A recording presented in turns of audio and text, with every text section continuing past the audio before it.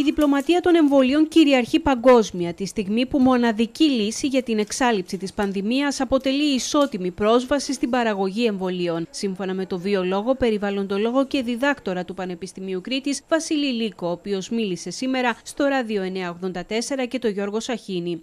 Δηλαδή, σοσιαλιστικός ο τρόπος της παραγωγής, μάλλον της έρευνας, αλλά καπιταλιστικός ο τρόπος της εκμετάλλευσης.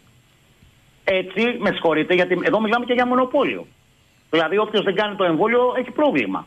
Άρα, εφόσον δημιουργείς ένα μονοπόλιο, μπορείς να μην το έχεις δώσει στον κόσμο και απλά αυτό να το διακινούν κάποιες ιδιωτικές εταιρείες. Από τι καθυστερήσεις και τις μεταλλάξεις, που όπως καταλαβαίνετε εκεί πέρα, τι έχουμε, δημιουργούνται και ανθεκτικά στελέχη, εντάξει, ανθεκτικές παραλλαγές. Αυτό τι σημαίνει, σημαίνει ότι διαφοροποιούνται οι τιμές αναχώρες, διαφοροποιούνται οι τιμές αναχώρες, Εμείς το κάναμε σωστά στην αρχή ως Ευρωπαϊκή Ένωση. Βλέπετε τώρα όμως ότι σπάει αυτό το πρωτόκολλο. Και γιατί σπάει αυτό το πρωτόκολλο, Γιατί πολύ απλά είναι η BioNTech από πίσω.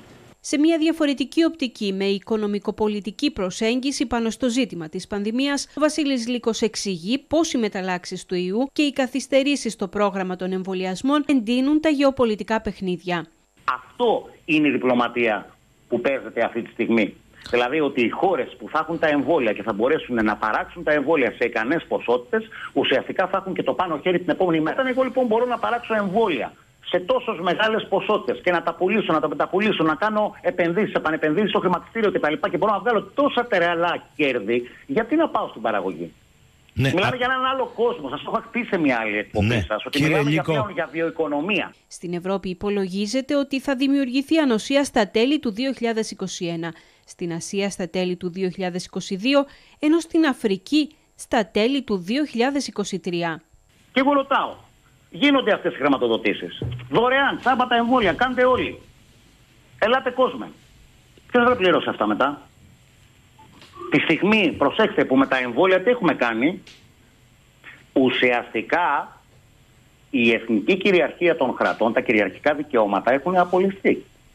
Διότι έχουμε πριν από την, από την αρχή ότι θα έχουμε πλήρη ασυλία σε αυτές τις εταιρείες. Και είναι λογικό προκειμένου να τρέξουν και να κάνουν εμβόλια. Άρα δεν διεκδικούμε τίποτα. Αλλά παράλληλα δεν έχουμε και εμβόλια. Και θα φτάσουμε στο τέλος, όποιος προλαβαίνει τον κύριο να βλέπει.